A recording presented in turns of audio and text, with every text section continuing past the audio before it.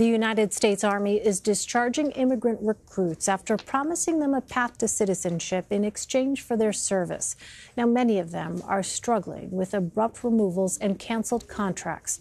David Begnaud has been following the story of one PhD candidate who was abruptly discharged.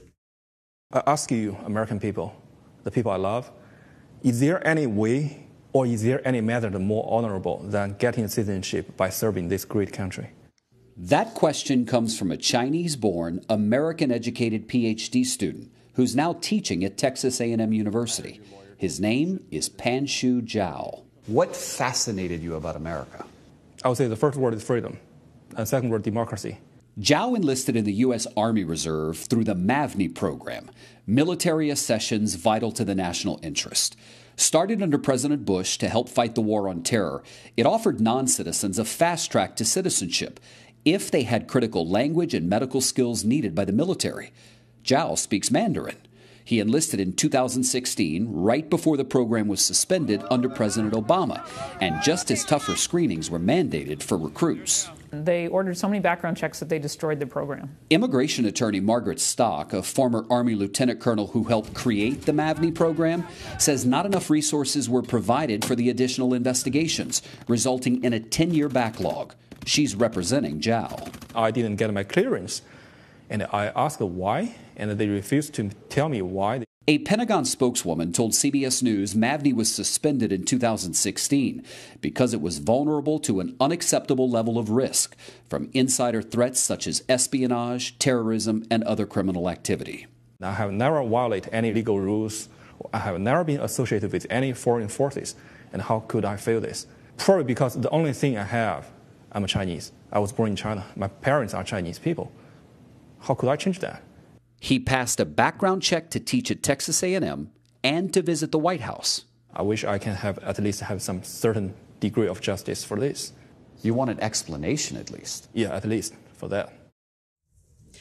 And David Begnaud joins us now from McAllen, Texas. David, how will being discharged from the Army affect the immigration status of Zhao and others like him?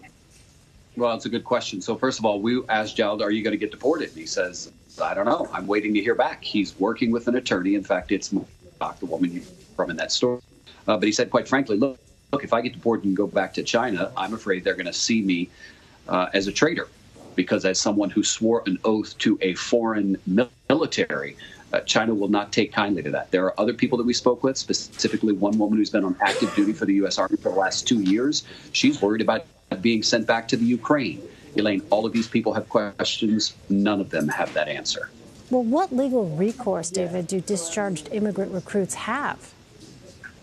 Um, they, they, they really don't. I mean, look, quite frankly, uh, Zhao went to his superiors, said why. They said we don't know, and we can't tell you. That's essentially what he was told. So he's working with Miss Stock. But again, these are people who are not citizens.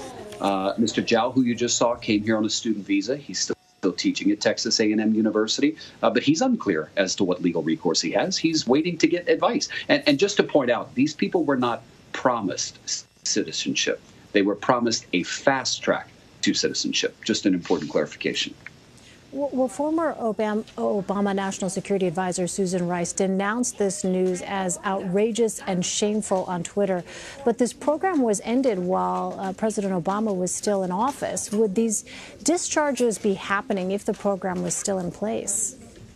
Possibly. I mean, look, the, the reality is, Elaine, these people were discharged because they were told they failed their background check. Now, the critics will say the failure of the background check is just being used as an excuse. Margaret Stock, who again helped to create the program, says that in 2008 uh, 16, under President Obama, they put into place tougher restrictions, tougher background checks, more questions. The problem is, Elaine, it's taken taken nearly two years to go through these background checks. So everybody's been in a limbo, so to speak. And that's why we're seeing these people being kicked out of the military right now under President Trump. It is not fair to blame Mr. Trump for what is happening now. Again, the program was suspended under Mr. Obama. The question is, why did it take so long to process background checks? And, you know, again, with Mr. Zhao noting he passed a background check to teach at Texas A&M, even went to visit the White House and passed a background check was it background check for the military? that didn't pass muster. Hmm. All right. David Begnaud reporting from McAllen, Texas for us. David, thanks very much. You bet.